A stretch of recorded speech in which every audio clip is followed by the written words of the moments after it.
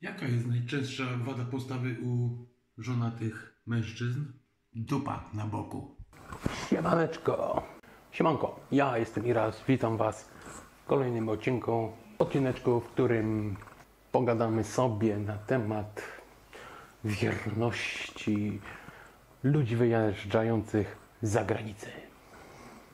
Intro.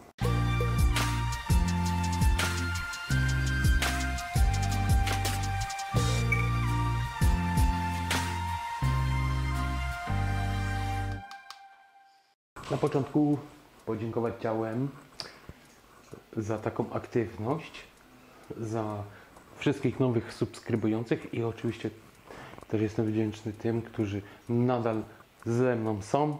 To lecimy dalej.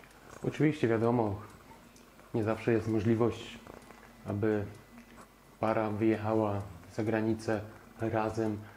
Często wygląda to tak, że jedno jeszcze się uczy, bądź jedno zostaje z dzieckiem w kraju, w Polsce, a drugie za większymi pieniędzmi, lepszymi pieniędzmi, za chlebem wyjeżdża za granicę.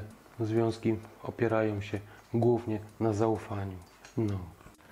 Za granicą to wygląda tak, że no, wszyscy pamiętają o tym, że mają tą swoją drugą połówkę w kraju.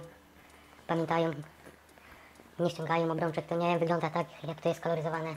Nie. Wszystko jest normalnie. Co?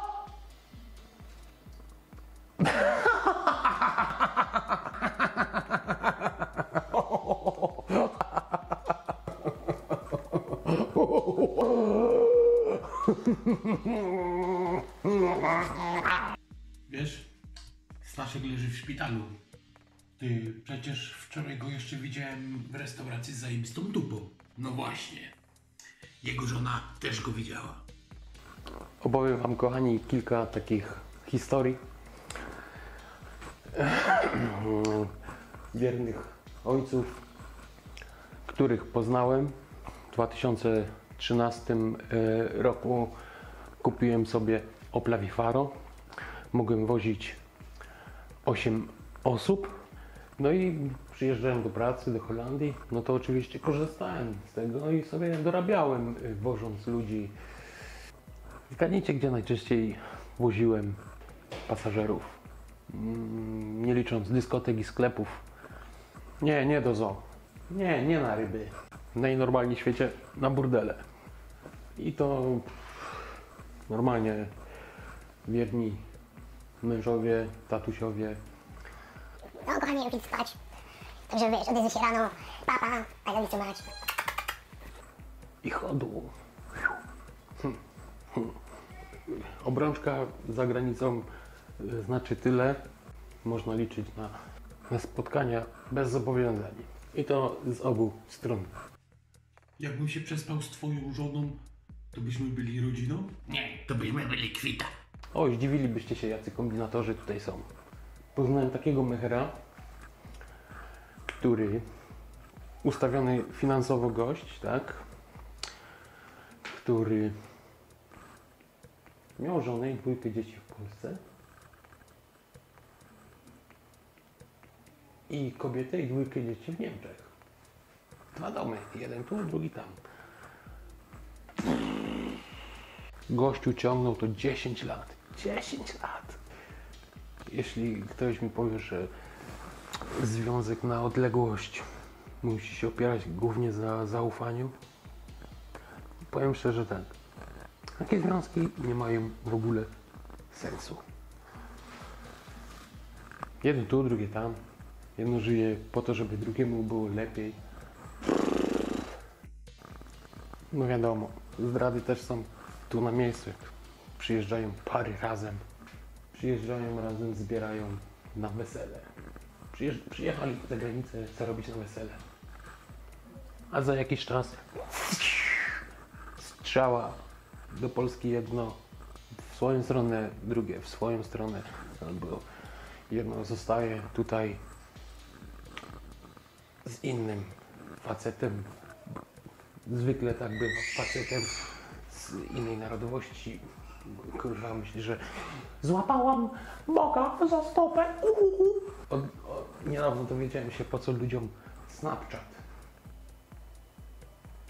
No, To jest taka aplikacja, jak można y, czatować i po czytaniu po kilku tam sekundach, czy jakoś tak wiadomość lub wysłane pliki znikają. Teraz już wiem, po co takie aplikacje. Że jeśli jesteście pewni siebie we dwójkę, osobno za granicę nie. Nie. No to naprawdę bez sensu. No chyba, że na chwilę. Ale to też niczego nie gwarantuje. Człowiek się nasłuchał, naoglądał. że chcę przypomniał jedną historię. No, jedna paniusia urodziła takie lekko przyciemnione dziecko. I nikt nie wiedział, kto jest jego ojcem. Pięciu ojców miał. Miał w przeciągu trzech lat, kurde, trzech facetów i każdy był jego ojcem. Kolejna taka historia. Pracowaliśmy w raz, dwa, trzy, cztery, pięć, sześć, osiem osób. Wszyscy mieszkaliśmy koło siebie. Yy, no, jedno nad drugim albo obok siebie. Yy, po dwie osoby. W jednym to były takie malutkie budyneczki, nieistotne, ale to było naprawdę drzwi obok drzwi. Ym, Było nas siedmiu facetów i jedna dziewczyna. Przyjechała oczywiście zbierać na wesele z swoim facetem. Swoim gościem. Kto wyczaił, że drzwi były otwarte? I no i co wiadomo, mieszkali sobie razem, tak, i, tak, no i fajnie im było. No ale to, że on tam niewiele i to, że on tam niewiele znaczył, ona chciała się jakoś sposób ustawić. Kurwa. Sypiając y, tak naprawdę z kimś, kto też niewiele znaczył, niewiele więcej. Y, gościem, który tam po prostu pracował 8 lat i tak naprawdę dorobił się niczego. No.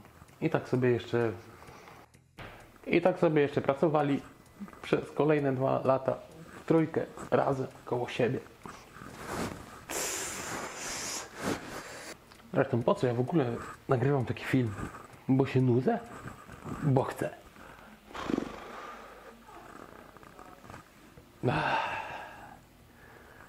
Tak naprawdę, jeśli y, para chce wyjechać razem za granicę, nie ma złotej rady. Nie ma. Się coś ma spierdolić, To się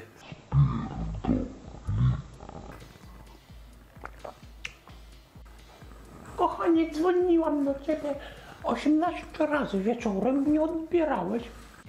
Aż kochanie, ja spałem. To były słowa, to, to, to wieczne telefony współlokatora. Znam naprawdę wiele par, które się rozeszły przez pracę jedno w Polsce, drugie na zewnątrz i wiele, które tak naprawdę były razem tu, na miejscu i przede wszystkim kobiety, kobiety dawały